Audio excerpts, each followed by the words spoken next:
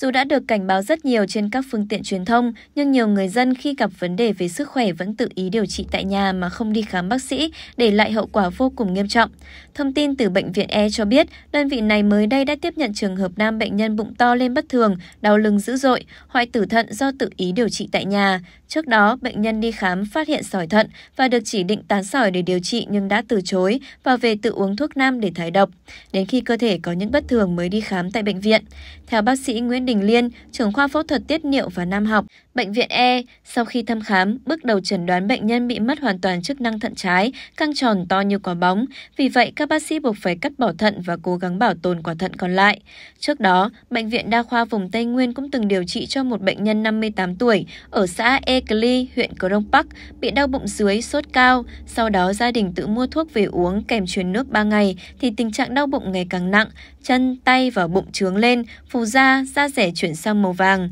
Bệnh nhân được chuyển đến bệnh viện trong tình trạng khó thở, suy thận, sốt, mệt, nhiễm trùng máu. Ngay lập tức, bệnh nhân được làm các xét nghiệm cần thiết và được chẩn đoán sỏi hai bên, gây bế tắc đường tiết niệu, thận ứ mủ, suy thận.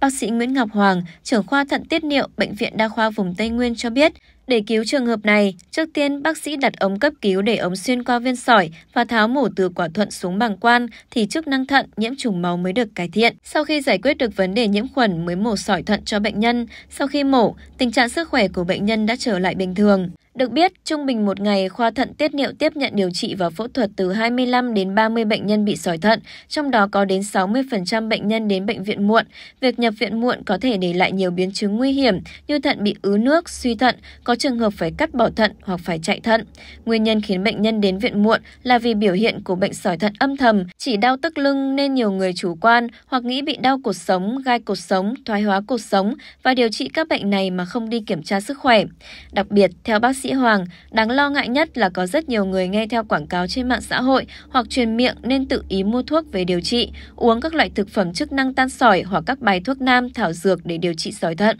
Đó cũng là lý do khiến 60% bệnh nhân mắc bệnh lý sỏi thận đến bệnh viện đa khoa vùng Tây Nguyên trong tình trạng đã bị biến chứng ứ nước, suy thận. Vì vậy, nhiều trường hợp đến bệnh viện khi sức khỏe đã chuyển biến xấu như yếu, mệt, thiếu máu, da nhợt nhạt hay đau đầu, chóng mặt, da sạm, cao huyết áp, rối loạn điện giải, suy thận nặng và những trường hợp này thì sức khỏe rất khó hồi phục.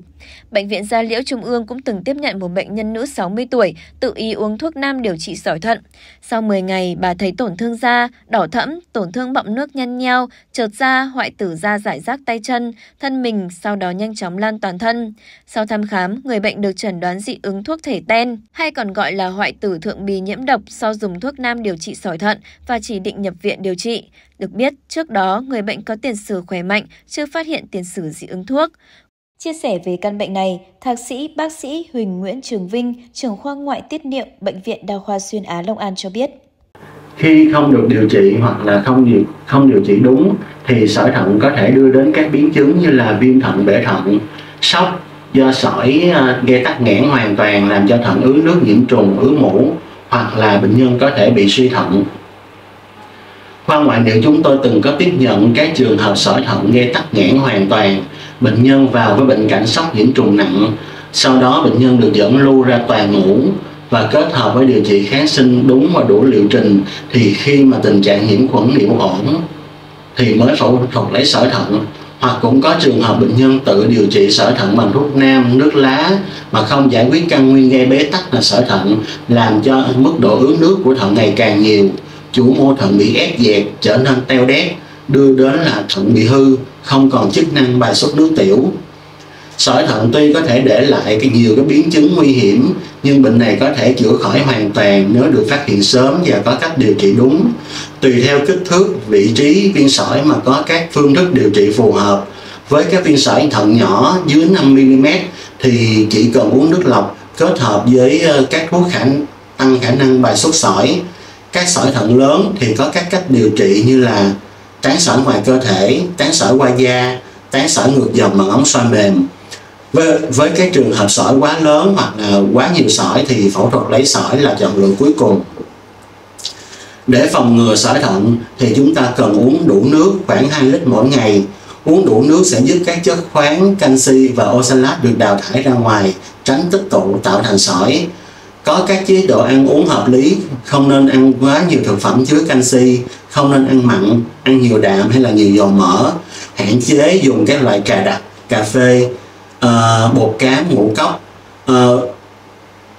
tăng cường tập thể dục thường xuyên cũng có thể ngăn ngừa được hình thành sỏi thận. Và nếu mà mình đã bị từng bị sỏi thận thì nên tái khám định kỳ để kiểm tra và phát hiện sớm.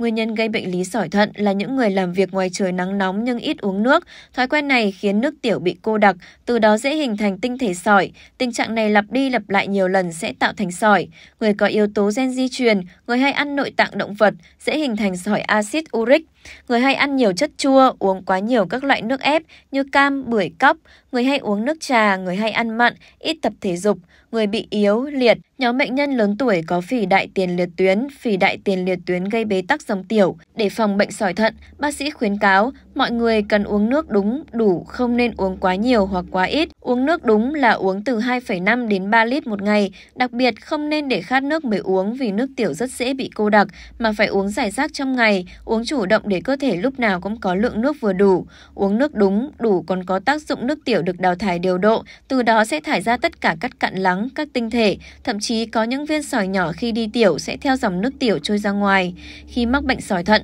tuyệt đối không tự ý mua thuốc điều trị mà phải đến cơ sở y tế chuyên khoa để khám, tư vấn và có hướng điều trị phù hợp tùy tình trạng bệnh, vị trí viên sỏi, kích thước viên sỏi, bệnh lý nền, tuổi tác của bệnh nhân mà bác sĩ sẽ có những chỉ định cụ thể. Trường hợp sỏi nhỏ không có chỉ định phẫu thuật, bác sĩ sẽ điều trị viêm nhiễm, điều trị tăng dòng chảy để đẩy viên sỏi ra ngoài. Trường hợp sỏi lớn, bác sĩ sẽ có chỉ định phẫu thuật.